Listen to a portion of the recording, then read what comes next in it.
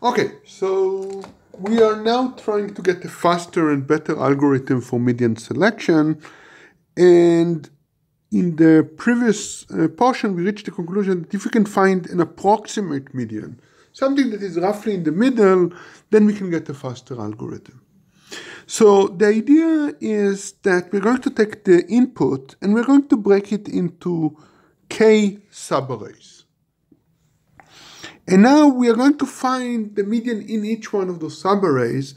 Now the idea is going to be that each one of those subarrays are going to be very small, right? In fact, uh, in our case, the subarray each is going to be five elements of the input.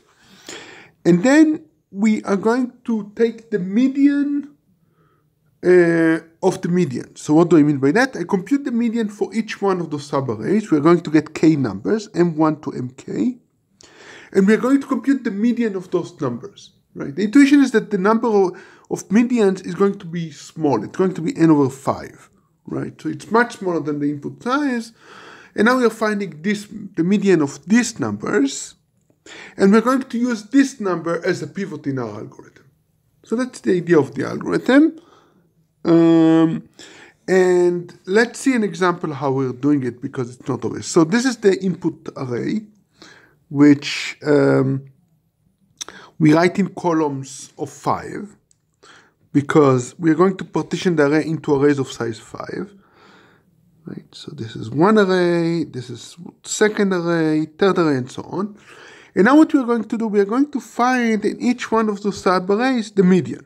How we do it? Well, you know, these are five elements, just sort the, the five elements, right? Sorting five elements take constant time, so sorting all those uh, columns will take linear time overall. Okay, in this case, the median is going to be 72. In the next column, the, the, the median is going to be, let's see, uh, 20, no, 31, right? 31.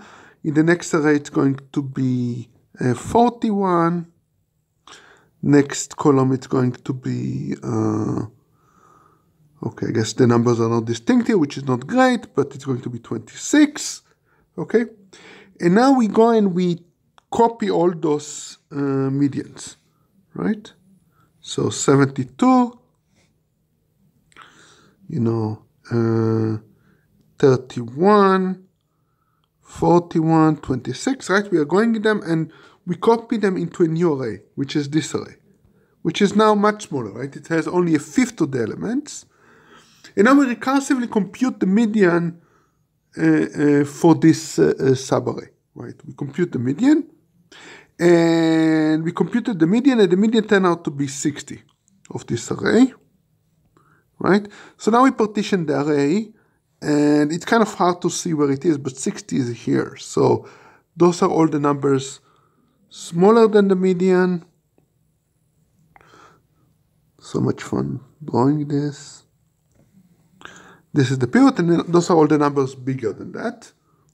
And now, you know, now we continue. Now we continue just in like quick select. Right? We either found the median, the the desired element of the desired rank, or we have to continue either on the left side or the right side. So that's the algorithm. Um, an important thing is that you we perform only one recursive call, right? So it's a tail recursion, right? Uh, so, so of course it's not completely clear how this algorithm works. So uh, let's maybe uh, try to see what's going on. Um, and we will get back to these drawings sh shortly when we try to analyze this algorithm. So here is formally what we're going to do. We're going to have the ith subarray, the column, is going to just be the, a block of five elements in the original array. We are creating this, um, for each one of the LIs, we find the median by just sorting it. This is linear time, so it's linear time overall. B is going to be the uh, array of the medians, and we compute the median of those B. This is going to be B. And the key lemma, which I'm going to prove uh, uh, shortly, is that this median is pretty good, right? So bottom is pretty good. The number of elements uh, uh, that are smaller than this median x, sorry, the median b, uh, or bigger than uh, this median b, is roughly seven tenths of the array. Okay, so roughly seven tenths of the, the you know, at most seven tenths of the array might be bigger than the pivot or smaller than it, right? Namely, the pivot is pretty much in the middle, which again intuitively means that, uh, as we will see shortly, this implies a good running time. Okay.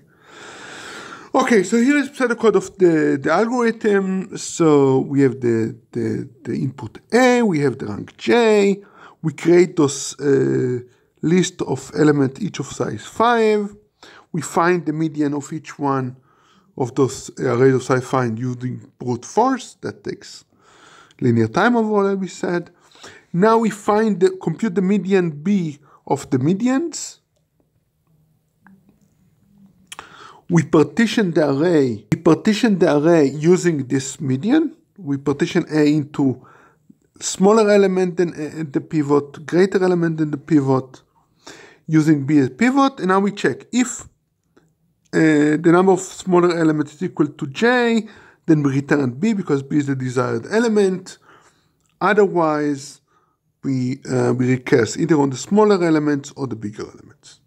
And that's it, right? Um, so that's the algorithm.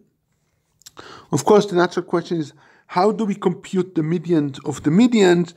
But that, of course, is just simply we call recursively. So in fact, I lied earlier because this algorithm perform one recursive calls on the medians, right? And I perform one additional recursive call either on the greater elements or the smaller elements, right? So overall, two recursive calls.